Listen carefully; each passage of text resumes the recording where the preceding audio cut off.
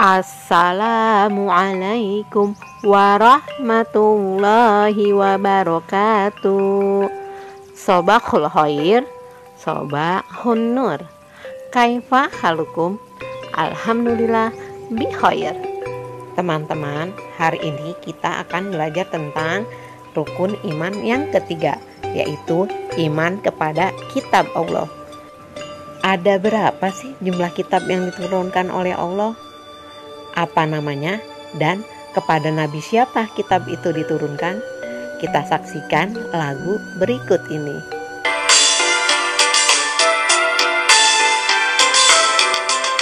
Kitab-kitab Allah itu ada empat Taurat, Zabur, Injil, dan kitab Al-Quran Iman kepada kitab, iman yang ketiga Kitab-kitab itu wajib kita imani.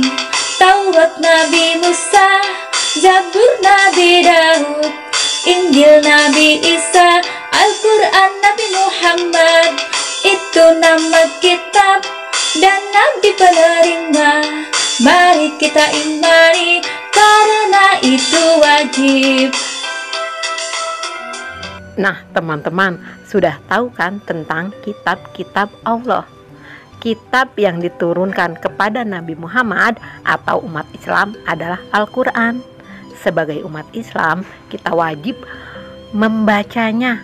Nah, sedari masih kecil kita harus belajar Al-Qur'an melalui Iqra. Untuk tugasnya, teman-teman dapat mengirim foto ketika sedang membaca Iqra Kemudian fotonya ditaruh di Twibbon. Kirim deh. Nah, selamat mengerjakan. Terima kasih. Wassalamualaikum warahmatullahi wabarakatuh.